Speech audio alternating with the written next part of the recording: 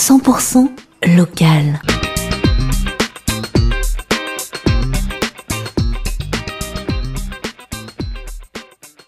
Périplessis, le festival du film, du voyage et d'aventure, va animer Mâcon du 17 au 19 novembre.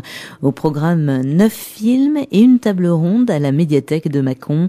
Pour tout savoir, j'ai le plaisir d'accueillir dans notre studio Olivia Chalouin pour euh, Périplessis. Bonjour Olivia. Bonjour Sandra. Alors Olivia, on a l'habitude de parler chaque année de votre festival. Un mot euh, sur son esprit. Il me semble que vous essayez de montrer en somme qu'à cœur vaillant, rien n'est possible. Ouais, c'est un peu ça, absolument. En fait, on essaye euh, d'allumer cette petite lumière qu'on a chacun en nous, euh, qui nous qui nous dit qu'on a le droit de réaliser ses rêves et qu'on peut se, on peut se le permettre, parce qu'on a tous dans notre quotidien parfois des, des empêchements, des barrières, des limites, et on a tendance à oublier qu'on a tous des rêves. Alors euh, nous, on, nous on parle de voyage, mais dans les dans le public qu'on peut recevoir, on peut avoir des, des gens qui rêvent de poterie, euh, de musique, euh, et que sais-je encore.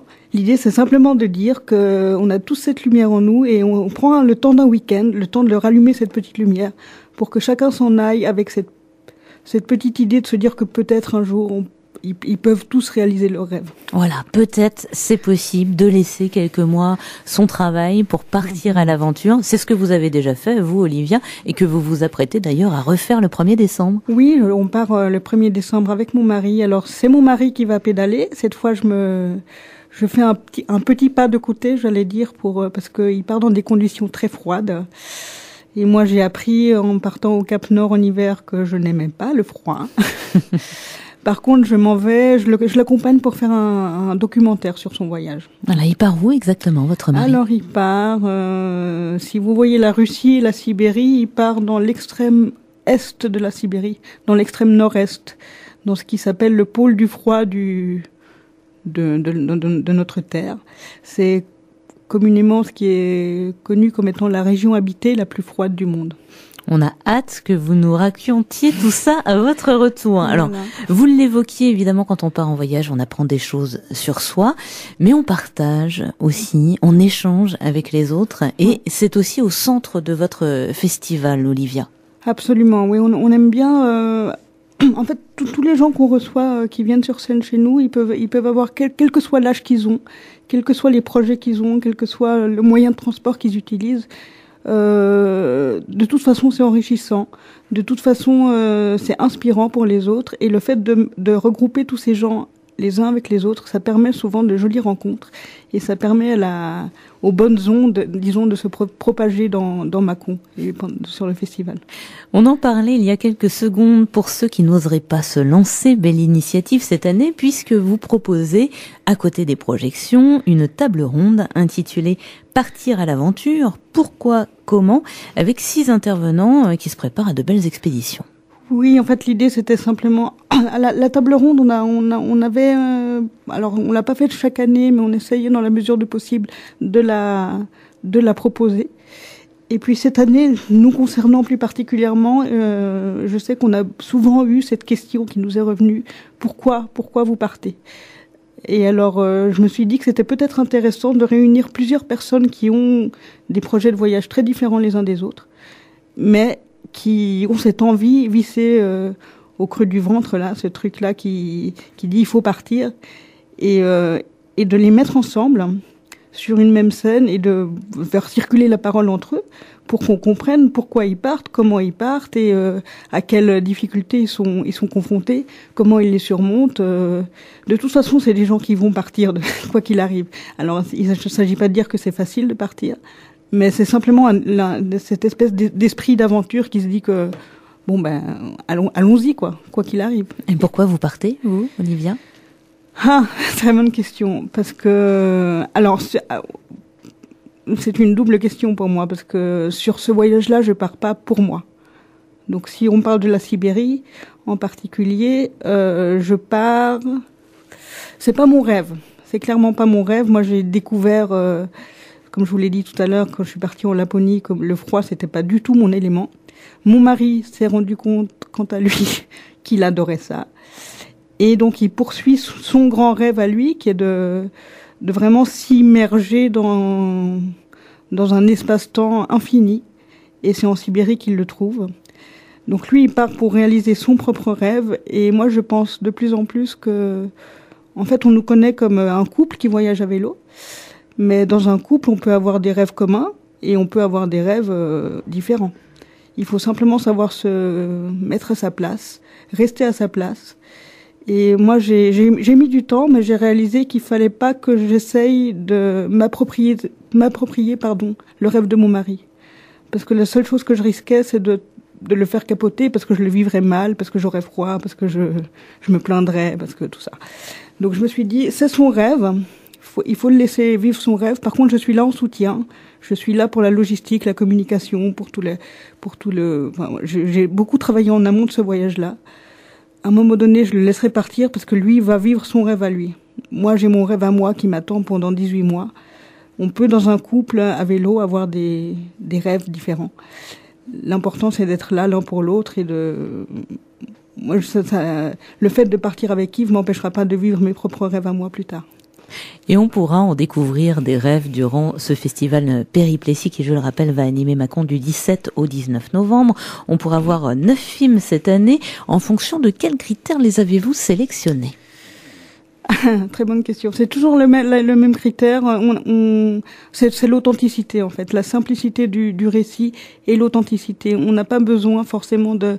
On n'est pas un festival primé on n'a pas besoin de, on n'aime pas les, chichis entre guillemets. Hein. Euh, on peut très bien mettre euh, mettre à l'image un, diaporama tout simple ou un grand film avec beaucoup de financement derrière. Ce qui ce qui importe pour nous, c'est le message qui le message qu'il porte et l'authenticité de la personne qui qui le vit. C'est-à-dire que si on vit un, une aventure à fond en y croyant complètement, on, peut partir avec très peu d'argent ou, ou, beaucoup, ça dépend de la, de la notoriété qu'on peut avoir. Nous, l'important, c'est que la personne qui vient sur scène avec nous, elle soit authentique dans, dans ce qu'elle dit et dans ce qu'elle raconte et dans ce qu'elle vit. Voilà, en somme, l'important, ce n'est pas la qualité des images, mais l'âme du voyage. L'âme du voyage, ouais, absolument, c'est très bien dit. Ouverture de Périplessis le vendredi 17 novembre à 20h. On partira sur les traces du cheval de Berbéry avec euh, Gladys le Carpentier. Un mot sur, ce, sur ces films, puisqu'il y en aura deux. Oui, c'est une soirée de films euh, ce, ce, vendredi soir. Euh, alors, moi j'aime beaucoup euh, les films, j'allais dire le film de Gladys, mais il y en a deux, donc on a dit. C'est une, une, jolie épopée euh, féminine pour une fois, puisqu'il s'agit de Gladys, de sa chienne et de deux chevaux. Toutes des, toutes des filles qui, qui traversent l'Atlas et qui partent de Marrakech pour rejoindre Poitiers. Alors j'allais dire à pied, euh, enfin voilà, à, dos, à, dos de, à dos de cheval et à pied. Euh, c'est une très très belle aventure avec des très belles images, je, le disais donc, de, l'Atlas. Et puis on sent, euh, on n'a on pas encore eu l'occasion d'avoir des images d'équitation. Dans ce film-là, on sent un véritable amour euh, de Gladys pour ses chevaux. Il y a, y a tout, dans, y a une, dans une partie du film, dans la première partie du film, toute la préparation, parce que ces deux chevaux barbes, il fallait quand même qu'elle les prépare en amont pour un, un très très long périple. Il euh, y a toute une, ce que je disais, une partie où elle, on voit qu'elle partage avec eux, qu'elle, qu'elle, qu'elle prend très, vraiment soin de ses chevaux. Et après, ils s'en vont, elles s'en vont toutes euh, sur la route. Donc, elles, elles, elles marchent pendant tout le temps, par des températures très chaudes, très froides, sous la pluie. C'est une véritable aventure. C'est pas, c'est pas qu'un voyage, c'est une véritable aventure et une épopée féminine à cheval. Donc, c'est pour plusieurs raisons que ce film nous plaît. Voilà, à voir le 17 novembre à 20h à la médiathèque de Mâcon. Samedi 18 novembre à 14h30, nous allons courir 621 km, accrochez-vous bien, à travers les Alpes avec euh, Philippe Fortin.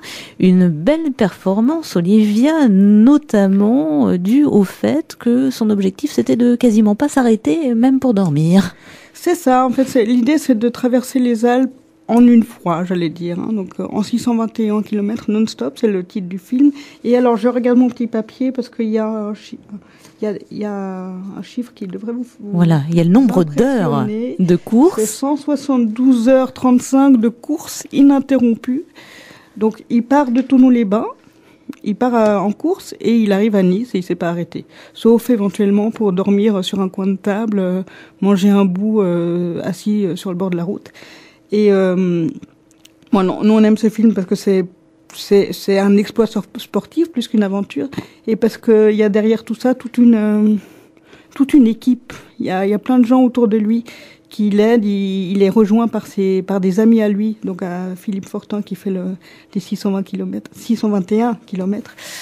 Donc il est rejoint euh, de point en point par des amis qui l'aident à courir, qui le, qui le reboostent quand ça va plus. Il y a le médecin de l'expédition qui sera avec nous aussi, euh, avec nous aussi sur le festival. Donc on pourra échanger autour d'un, d'un véritable exploit sportif, d'un truc qui nous paraît totalement inconcevable. Mais c'est possible de faire 621 km en courant. Et sans être dopé. Et sans être dopé. à, la passion, peut-être. À, 16 heures, euh, Olivia, on va découvrir l'histoire de, de, Dorine, seule survivante d'un accident euh, d'avion, qui va finir par faire de la voltige aérienne malgré son handicap. Aussi une histoire euh, vraiment belle. L'histoire de Dorine, c'est une très belle histoire de résilience. je ne sais pas si on avait eu l'occasion d'en parler. Elle était déjà venue sur Périplétie, mais il y a, ouf, il y a quelques années déjà. Alors Dorine ne sera pas là physiquement cette fois-ci parce que elle a un métier de conférencière qui la qui lui prend pas mal de temps, mais il y aura Guillaume Ferral, son, un, ami très proche à, elle. Et l'histoire de Dorine, effectivement, elle est assez euh, assez impressionnante parce qu'elle a eu un accident d'avion, comme vous le disiez, à l'âge de 16 ans. Elle est la seule survivante. Elle est sortie euh, paraplégique de euh, cet accident. Et au lieu de ne plus jamais monter dans un avion, elle, a, elle est devenue pilote professionnelle, premier exploit. Et deuxième exploit, et c'est là-dessus que va porter le film qu'on vous propose cette année, c'est qu'elle est devenue première femme voltigeuse euh, en avion, euh, paraplégique, et qu'elle va faire euh, le salon du Bourget en tant que voltigeuse. Alors c'est le, le, le film raconte la difficulté que c'est en tant que femme paraplégique de s'inscrire à un événement tel que celui-ci. Donc parce que la, le salon du Bourget, c'est quelque chose de très codifié. On n'y rentre pas comme ça. Et en tant que femme paraplégique, Dorine, vous allez voir dans le film, aura quelques soucis pour se faire accepter, mais elle va y arriver. Elle va pouvoir faire euh, finalement ce, cette superbe voltige euh, au-dessus du salon du Bourget, sachant quand même, euh, je le rappelle, qu'elle est la première femme voltigeuse de France. Voilà, toujours le 18 novembre à 16h à la médiathèque de Macron dans le cadre de Péripléchie. À 17h20, on va pouvoir, grâce à Yannick Barthes, en savoir plus sur Andy Flight. Alors Andy Flight, c'était juste une petite, euh, euh, amuse-bouche pour nous. En fait, on voulait vraiment euh, mettre l'accent cette année sur l'aéronautique. Et on voulait faire un lien avec Dorine. Donc Andy Flight, c'est une, c'est une manifestation qui a lieu en Suisse chaque année depuis dix ans. Donc cette année, ils fêtent les dix ans. C'est pour ça qu'on voulait leur, euh, leur, leur donner un petit peu la, la, parole. Euh, c'est une manifestation qui est organisée par euh, Daniel Ramseyer, donc je vais vous parler plus tard. Et l'idée, c'est de, réunir pendant un week-end tous des plein de pilotes paraplégiques, c'est dur à dire, d'Europe et d'essayer de faire avancer la cause du pilote paraplégique. Parce que c'est bon c'est c'est c'est assez récent c'est pas c'est pas évident. Euh, vous verrez que pour piloter un avion quand on est paraplégique il faut des avions spéciaux il faut une formation spéciale et tout ça ça a mis du temps. Andy Flight est là pour ça, elle est là pour casser les murs et trouver des trouver des, des appuis, des soutiens pour faire avancer la la cause du, du pilote paraplégique. Voilà, c'est vraiment là qu'on voit que rien n'est impossible finalement. à 17h30, Olivia, il y aura la, la fameuse table ronde dont on parlait tout à l'heure. Et puis le soir à 20h30, on va faire le tour du monde à bord d'un avion solaire. Euh, vous, avez certainement dû entendre parler de, ce. Je ne sais pas à quel point ça a été médiatisé sur Macron, mais euh, Andy Flight, euh, on en a beaucoup entendu parler. C'est une extraordinaire épopée humaine et technologique évidemment, parce qu'il s'agit de faire le tour du monde dans un avion sans carburant, à la pure énergie solaire. Donc pour faire avancer la, la cause de la, du réchauffement de la planète, etc. Il y a donc euh, Bertrand Picard et André Borchberg qui se sont mis en tête de, alors avec au début pas du tout de soutien de nulle part parce qu'ils sont arrivés en disant mais nous on va faire le tour du monde en avion sans carburant et les gens se sont dit non mais c'est pas possible. Concrètement, c'est pas possible. Et ils ont mis toute une équipe en place et tout un système en place. Ils ont construit cet avion-là.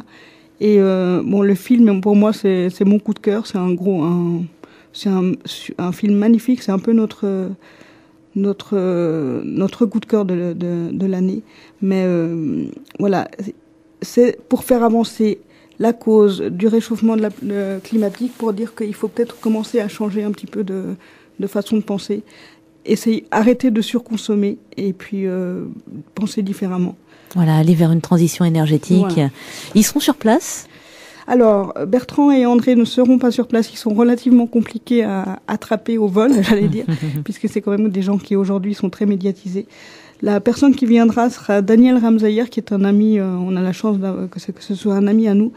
Il a été dans le sur l'aventure euh, Solar Impulse. Ça a été la personne responsable de la, de la vie des pilotes en l'air. Parce que c'est ben, construire un avion comme ça, c'est compliqué. Il faut faire plein de choses. Et lui, c'est celui qui, s'est occupé du parachute de secours des pilotes, etc., de plein de choses. Euh, Bon, premier important. Oui, j'allais le dire. Donc pour découvrir cette aventure extraordinaire, rendez-vous le samedi 18 novembre à 20h30 à la médiathèque de Mâcon. Le dimanche, début des festivités à 14h30, toujours à la médiathèque de Mâcon, on va découvrir l'aventure d'Aurélie et Florent qui, eux, sont partis 4 ans à vélo. 4 ans à vélo, mais avec une... Alors, leur aventure, c'est pas que du vélo c'est aussi de l'escalade de, et, de la, de la grimpe, j'allais dire, parce que leur idée, c'est de partir en mobilité durable aussi, toujours. Donc, ils n'ont jamais pris l'avion, par exemple. Ils ont pris toujours les cargos pour relier les continents, les vélos pour relier les sommets. Et leur idée, c'était de grimper le maximum de sommets possibles euh, dans le monde. Donc, on verra, on verra les, les Rocheuses, euh, la Cordillère des Andes et plein, enfin, toutes les, toutes les montagnes du monde avec leur idée, donc, de, de les relier en mobilité douce le plus possible. Voilà, on va prendre de la hauteur. À 16 h on pourra en savoir plus sur les 16 années de voyage de Claude Mataler. Vous nous en parliez tout à l'heure d'ailleurs. Non, Claude, effectivement, il est déjà venu euh, une ou deux fois sur, euh, sur le festival. C'est un grand voyageur à vélo. Et le film qu'on propose cette année, il va pas retracer un voyage en particulier parce que ce serait compliqué avec lui, il en a plein. par contre, l'idée c'est de prendre un petit peu de hauteur par rapport à tout ça et, de de se poser la question euh, pourquoi on part à vélo et qu'est-ce que ça implique? Parce que euh, souvent ça fait rêver, hein, on dit ouais c'est super, il est parti, sauf que on ne sait pas euh, quelle est la, contrepartie. Des fois il faut il faut faire des concessions, il faut voilà.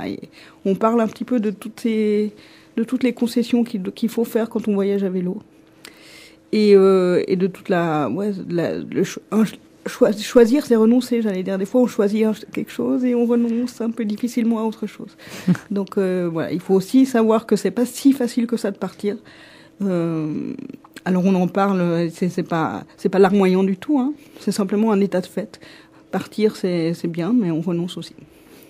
Et enfin, à 17h30, on prendra la mer avec euh, Violette. Alors Violette, c'est une jeune fille de 16 ans qui a traversé le détroit de Gibraltar à la voile. Ouais, Violette, c'est notre petite pépite. On a, on l'a, j'ai eu la chance de la trouver euh, quelques jours avant le, bouclage de la, de la programmation. Je suis ravie parce que c'est notre petite euh, pépite pour terminer la, le festival.